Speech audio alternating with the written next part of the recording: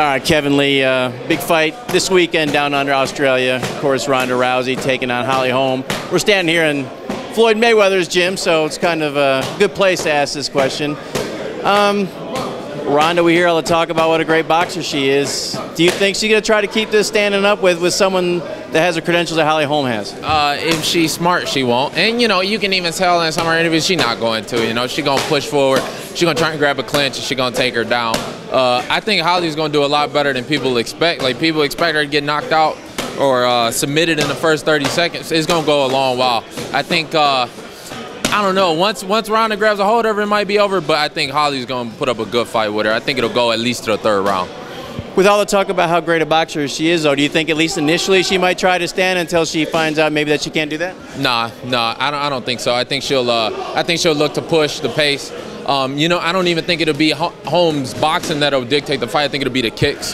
Uh, you know, she ain't gonna be able to walk through them kicks like that. So uh, she'll try and catch some kicks, counter them, and then uh, look to close the distance. But I think her kicking game will, will set the distance. Of course, Holly's won every fight, but she hasn't looked that impressive, especially the last couple times out. Why is that you think she's going to give people a better, uh, give Ronda a better run for her money than, than most people think? Because it's styles that make fights. You know, she ain't knocking these girls out, but she's still winning. Uh, you know, and that's what it's going to take to beat Ronda as a point fighter. So I think she's going to come out. She's going to point fight her. People aren't going to like it you know, people are going to talk shit, but uh, you know, I think she's going to do the right thing and uh, and not try and take Ronda out early and not try and uh, uh knock her out. You know, I think that's the way to win. And, and uh, she's working with Greg Jackson, so they're going to set up a game plan for win to win. She got any chance if it does get to the ground? Probably not. No. So she got to keep it upright, right? She got to keep it upright. She's gonna keep her at distance with those kicks and uh, you know, and then she just gonna point fight her, you know. And every time Ronda tries to come in, she gonna hit her. Uh, I think it's gonna be harder for Ronda to take her down, but once it hits the ground, I don't know. She she might just be in survival mode.